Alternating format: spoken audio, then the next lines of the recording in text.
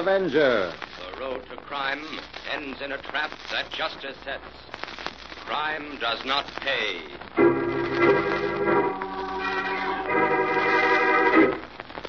The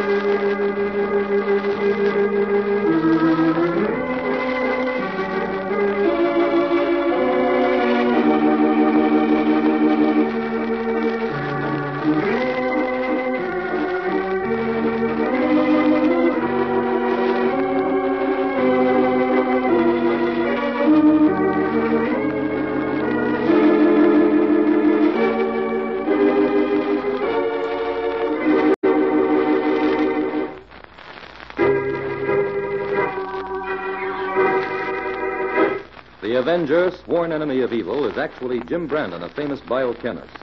Through his numerous scientific experiments, Brandon has perfected two inventions to aid him in his crusade against crime as the Avenger telepathic indicator by which he is able to pick up thought flashes, and the secret diffusion capsule, which cloaks him in the black light of invisibility.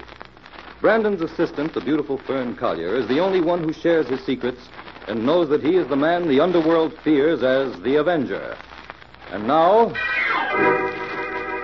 the Avenger and the Thoroughbred Murder.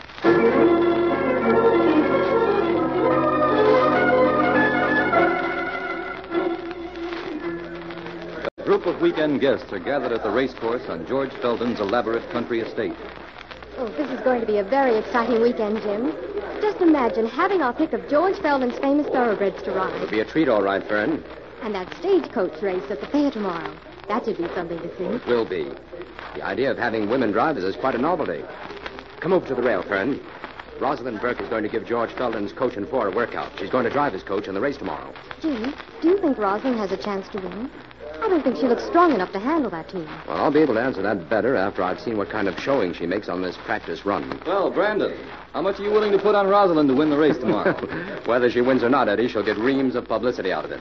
I take it that was the idea behind the whole thing. of course. An actress always needs publicity, you know. But I thought Rosalind retired from the stage two years ago when she married William Burke. A great actress never retires, Fern, and Rosalind is a great actress. Yes, I saw several plays in which you two were co-stars. And you'll see our name in lights again, Fern, if I can talk some sense into Rosalind. Eddie Woods and Rosalind Dale. Ah, that combination still has a draw. Oh, George is bringing the coach up to the starting line. She'll be ready to go in a minute. Oh, I'll see you later. I want to time this. Eddie Woods is certainly anxious to get Rosalind back on the stage, isn't he? And with good reason. He hasn't had a play since she retired to marry Burke. But I think he's wasting his time. Burke is set against Rosalind, going on with her career. Yes. Mr. Burke seems to hate the theater and everyone connected with it. The coach is ready to start. Watch this, Fern. Here she comes. Let him out, Bart. Oh, good heavens, Jim, look at her go. Yes, we don't need to worry about her being strong enough to handle that team. She's in perfect control. Well, that takes a lot of nerve. I couldn't do it. She's reached the pin. Give him their heads, Bob. Look at her Oh, for a second there, I thought she was going to turn over. As she's racing them for all they're worth now. If she doesn't break the time record, I miss my guess. They're on the home stretch now. Look at Rosalind. She's certainly enjoying it. Fine driving. Oh, this is wonderful. Oh, wonderful driving. They're over the line. What was the time of that, Eddie? Five seconds under the record, Brandon. Oh, if she drives them like that tomorrow, she's a sure winner. Look, Jim, even her husband is Oh, pleased. that's easy to understand. Horses are Burke's great love. He has quite a stable of his own. In fact, I'd be willing to bet he's down here trying to buy a few of George Felden's prize winners. Come on, Jim. Let's go over and congratulate Rosalind.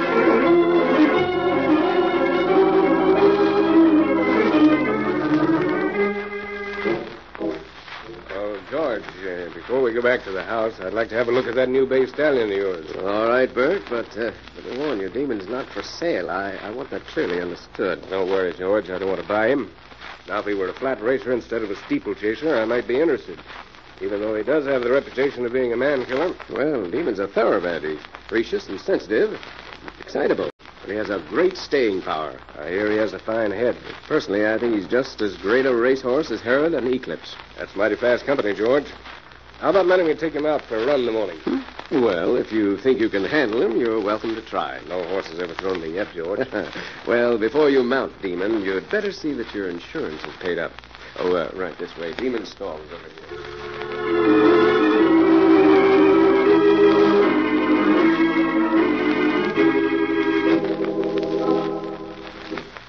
Harold, these heavy strokes in your handwriting show that you're hmm, determined, even headstrong.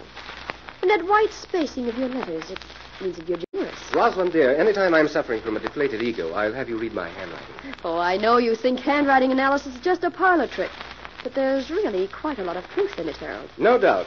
But you know me too well, Roz. You couldn't really give me an unbiased analysis. Well, I, I don't know Jim Brandon. Suppose I analyze his writing. Uh, Fern can judge whether I'm right or wrong. Come on, Jim. I'm a detective. I can't afford to have my writing analyzed. It might give away my secrets. I'd like that. Rosalind, I thought all these stories I used to read in the papers about your being a handwriting expert were just so much publicity. Oh, I just play around at it, Fern. I, I'm a rank amateur, really. Uh, how about a dance, Roz? There's music in the drawing room. Oh, wonderful idea, Harold. Excuse us, please. I want you to teach me that new step. Gosh, Jim, Rosalind is just as fascinating off stage as on. Yes, she has the rare combination of uh, beauty and brains. And it seems as if every man here is in love with her. Well, that statement is a little too intrusive, young lady. But there's some truth in what you say. Her husband is terribly jealous, too. I can tell by the way he watches her. Now, now, don't let that romantic imagination of yours take wings. Rosalind has known all these people for a long time. These are old friends, but who was Harold Lansbury? He wrote and produced the last play in which Rosalind and Eddie starred. What about George Felden, our host? Is he an old friend of hers, too? No, he's Burke's friend. Their mutual interest is horses. Well, I guess that brings me up to date on the guest list. All right, then. How about a walk on the terrace before tea? So, Mr. Brandon.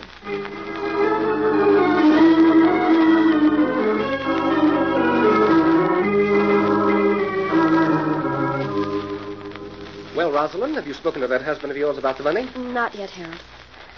Frankly, I'm finding it very difficult to must up courage. Well, don't tell me you're going to back out now after getting George to invite us all down here for the express purpose of softening him up. No. I'm going to carry out my part of the bargain. Well, the longer you put it off, the harder it'll be. I can't wait much longer, Rosalind. I have to get my play into rehearsal if it's going to be produced this season. I know. I... You've been sweet to wait as long as you have. Well, it's the perfect vehicle for you, Rosalind. Actually, I wrote it with you in mind. I know you did, Harold. Oh, the part's wonderful. I'd adore playing it. The backing's the only thing that's holding us up. If you can persuade that contrarian, narrow-minded man you married to loosen up his purse strings. Oh, Harold, don't start on Burke again. I know you hate him. But after all, you can't expect him to look at these things the same way we do. Well, I don't see how you can stand it. For two whole years, Burke stood between you and your career. Can't you see that if he cared anything at all about you, he'd want to see you happy? Why, Roz, the theater's the very breath of life to you. You were a fool ever to think you could give it up. Yes, I realize that now. Well, if you don't want your public to forget you, you'd better make up your mind. A lot of young stars are beginning to blossom out. I'll do my best to convince Burke that your play is a good investment. If I can persuade him to put up the money, then he'll be one of us. He'll have an interest in my work, and maybe I. oh, maybe please, I... Roz, don't give me that one little happy family routine. Even if Burke does put up the money, keep him away from me. Every time I look at him, I get the urge to commit assault and My husband certainly isn't very popular with my friends. He's the villain for my money. When are you going to speak to him? Right away. But I'll have to talk it over with Eddie first. Why? Well, naturally, I'd want Eddie for my leading man. Well, you could do much better, Roz. Eddie's on the skids. No. It's both of us or nothing. Oh, all right. The leading man's a stooge in this play anyway. It's settled then. I'll get a hold of Eddie and we'll go to Burke together.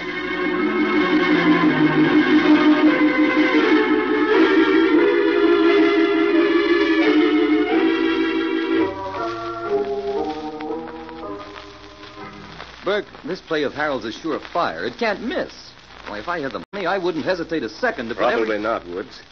That's the reason you have no money. Let me handle this, Eddie. Okay. Burke, listen. This chance means everything to me.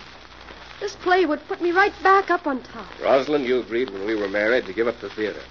I'm holding you to that agreement. I know. I've tried, Burke. Honestly, I have. But the theater's in my blood. I, I can't be happy away from the stage. It simply comes to a choice between us, then. It doesn't have to, Burke. If you'd be reasonable oh, and yes, of course. If I'd be reasonable and invest a small fortune in a play for you, you'd be willing to put up with me. You're just being nasty. It all boils down to the fact that you're too tight and mean to invest your money in anything that would bring happiness to people. Now, just a minute. You're not on the stage now, and there's no one in the gallery. I mean every word I'm saying. And so do I. I'm not putting one penny into any theatrical venture that you or anybody else is interested in. Kindly inform your friends of that and tell them to keep away from me. Why, you penny Eddie, pinching. you keep out of this. Leave us alone for a minute. If you say so, Roz. But I'd like to take a swing at that. Wait for me outside. Eddie. All right. But don't let him bully you. Well, Burke, time has come for us to straighten out a few things. Yes, it certainly has. I've made up my mind to go back on the stage. I was hoping you'd understand. That we could work things out. But if we can't, We can't. This is the parting of the ways. I can't say I'm sorry. I guess there's nothing more to be said. Oh, yes, yes, there is. I want to make it clear that I intend to arrange my affairs in such a way that not one cent will get into your hands. I'm giving you your grease paint, Rosalind, but that's all I'm giving you.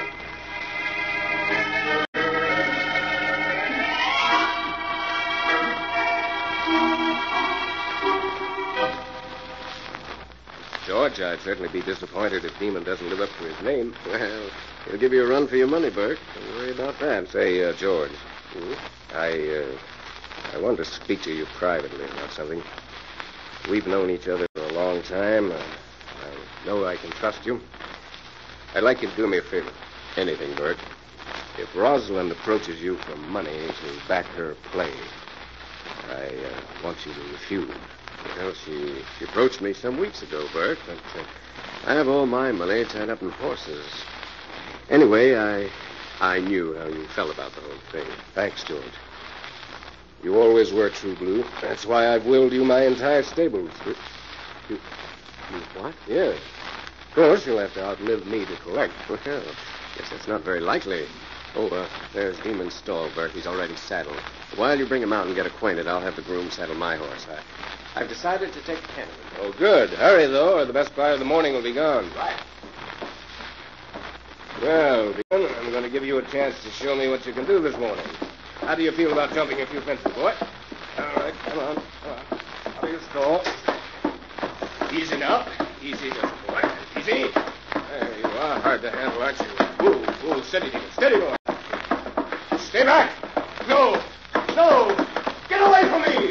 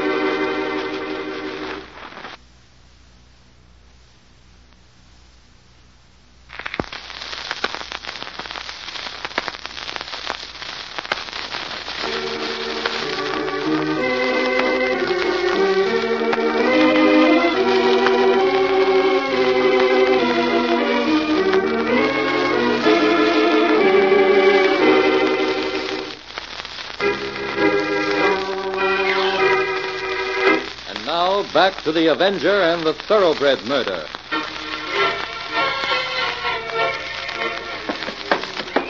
Help! Help! Randy, come down here quick! It's Bert! Back in your stall. Easy now, boy. Easy. Back up. Come on, back up. Get in there. There. What happened, George? It's Bert, Brandon. The stallion trampled him. I warned him Demon, was dangerous, but he insisted upon riding him. I'll, I'll call the doctor. Wait. Bert's dead, George. Yeah? We'll have to call the sheriff.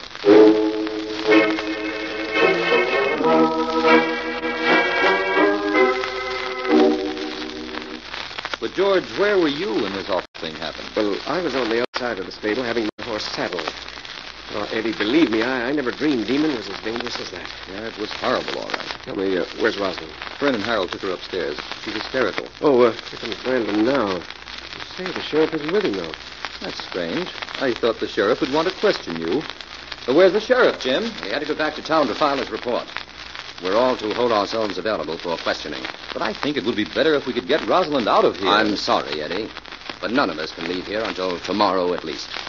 These hick policemen. Well, my next move is to get rid of Demon. No sense having a dangerous animal like that around. I'd wait until all this is over, George.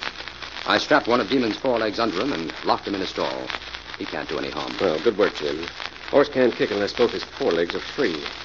You know, I, I simply can't understand how an experienced veteran like Burke could allow himself to be kicked to death by a horse. It is strange, George. Strange beyond all understanding. That is why I'd like you to assemble all your guests. I have an announcement to make to them.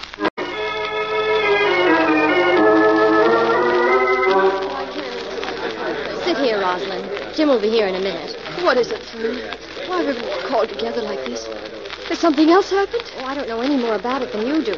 Oh, here's Jim now. Is everybody here? Uh, yes, Jim. All my guests, four servants, and the groom who was on duty this morning. I'll come straight to the point then. I thought all of you would be interested to know that the sheriff hasn't listed the death of William Burke as accidental. What? Not accidental. Well, just what do you mean, Jim? Just this. Someone in this room, besides myself, knows that William Burke was murdered. Well, that's ridiculous. I don't see how it could possibly Just a moment, please. The truth of the matter is that each and every one of us is under suspicion until this case is solved. If anyone leaves these grounds, he will be tracked down and arrested instantly. For the moment, that is all I'm authorized to tell you.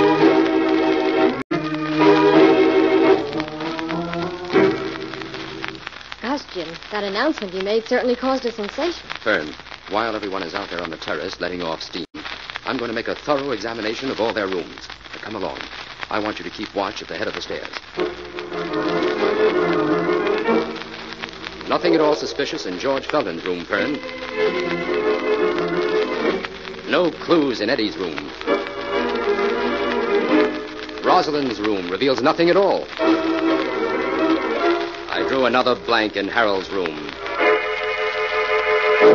What now, Jim? We'll have to change our tactics, Fern, and shift to the offensive. How do you mean, Jim? Well, the sheriff only gave me until midnight on this case. Then the local police are going to move in. That doesn't give you much time. No. So we'll have to force our murderer into a tight position. Make him do something he hadn't counted on. Oh, but how can we do that? While I'm searching the servants' quarters, I want you to go down to the terrace and blandly announce that I've uncovered several clues and have promised the sheriff to deliver his murderer tomorrow. That will call for some acting. Well, Fern, you've had a chance to observe a good actress this weekend. Just take a few cues from her. Okay. Well, meet me in the library in an hour. We'll compare notes there.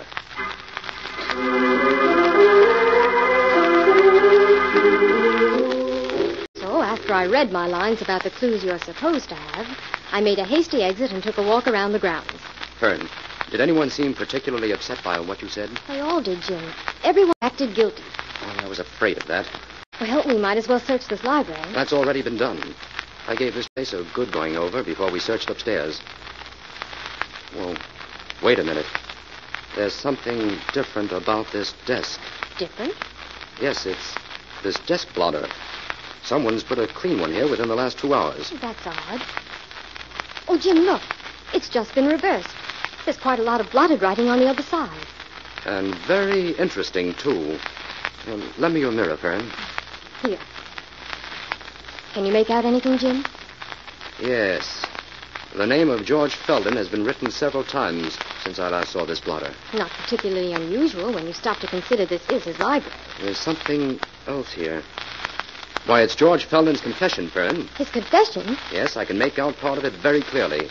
According to this, he encouraged Demon to trample Burke to death. Well, somehow I didn't think George Felden was guilty. Whether he's guilty or not, I have some good reasons for doubting he wrote this confession. Why, Jim? If George Felden did write this, why should he bother to reverse the blotter? And why should he write and blot his name several times when the confession is signed only once? No, I'm completely lost. Jim, what was that you just hid in your handkerchief? A small piece of fingernail. Another reason why I don't believe Felden wrote this. There's still another, but that will have to wait because that was the clue that told me Burke was murdered.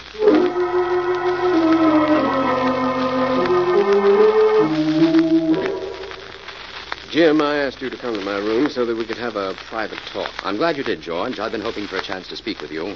You talk first. What's on your mind? Well, Fern told us early this afternoon that you knew who murdered Burke. Now, if that's so, why haven't you exposed the killer? Frankly, I wasn't sure who the killer was then, but I am now.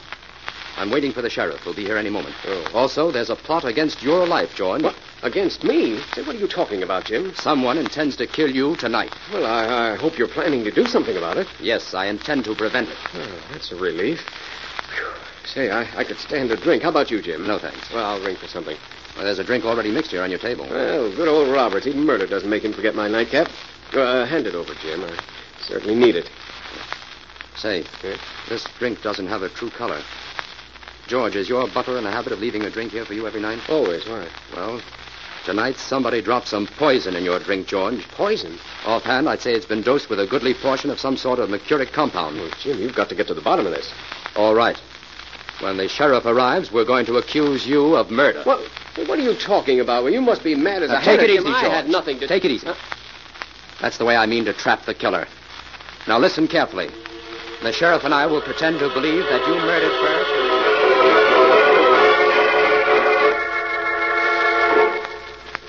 And that's the whole story, Sheriff.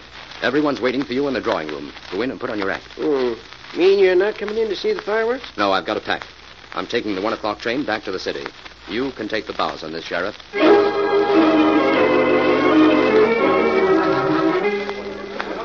Quiet. Quiet, everyone. Quiet, please. George Felden, the sheriff of this township, I'm arresting you for the murder of William Burke. Yes, and I'm warning you that anything you say can be used against you. Oh, this is ridiculous, Sheriff. Uh, Mrs. Burke, I know what I'm doing. Felden is guilty. I don't believe it. Georgia, I'll help you fight this. I'll go and call my lawyer right away. He'll come down here immediately and handle everything for you.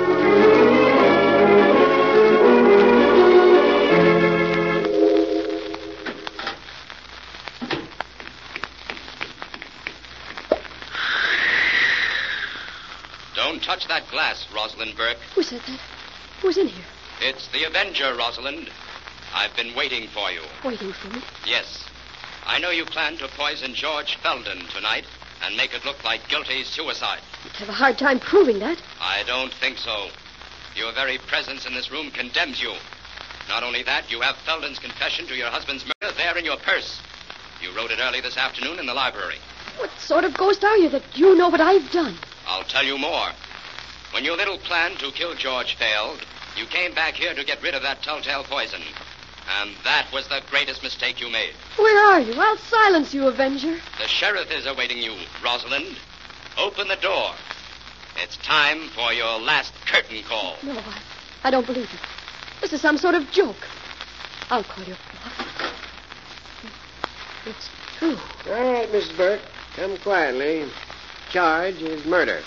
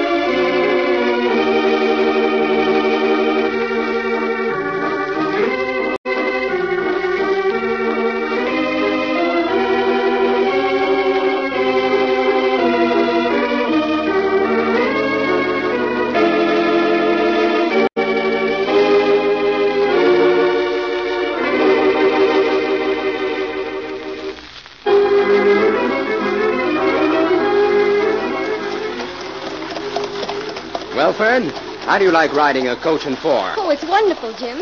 Thanks an awful lot for letting me persuade you to stay over an extra day. Well, this weekend turned out badly for you. You planned on doing a lot of riding, and instead you got mixed up in a murder. Oh, Jim, stop the horses a minute. There are a few points on that murder you've got to clear up for me. Whoa there! Whoa! Okay, Fern, shoot. First, how were you so sure Rosalind was guilty? Well, Rosalind was something of an expert at handwriting, as she demonstrated the other day. So she was the logical one to suspect of writing that false confession. In addition to that, she had practiced writing the name George Felden several times. Then I found a small piece of red lacquered fingernail, which she must have broken when she reversed the blotter. Later, I checked on that and found that the nail on her right forefinger was much shorter than the others. Do you mean to tell me Rosalind came down here for the weekend planning to commit two murders? No, her original plan was to murder her husband, and that only if he refused to back her play. He did refuse, so she killed him. If we hadn't tumbled to the fact that his death wasn't accidental, she would have collected enough insurance to back her own play. Then why did she decide to get rid of George? When I announced that we knew Burke had been murdered, she decided to pin the crime on George and shut him up. She planned to poison him and leave the confession in his room. She was certain his suicide would close the case. Wait a minute, Jim. I forgot to ask you the most important thing. How did you know Burke was murdered? Well, Fern, a horse always kicks up. But the marks of the horseshoe on Burke's face and body were down. Rosalind nailed a horseshoe on a board and waited for Burke and Demon's stall. She was a strong woman, as you know, and she hit him quickly and repeatedly. But her mistake was in the position of the horseshoe. The open end of it should have been toward the top of the board. She nailed it with the open end down. And that told me it was murder. Then she made another mistake. Because you didn't reveal that you knew how Burke was murdered. Yes, in that confession she wrote for George, she had him admitting that he had let Demon kick Burke to death. I knew Burke couldn't have died that way, so the confession had to be phony. Well, that takes care of everything. Good. Let's continue with our ride. Here, friend, take the reins. Oh, no, oh, Jim. Oh, go on, take them. Oh, no. Let me see how you can handle these bays. Oh, no. Take them. If you're good enough, I'll enter you in the fair next year. Get up! Get up there!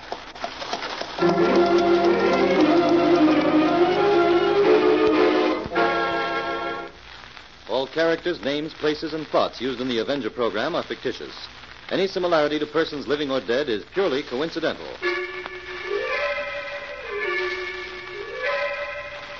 This is a thought.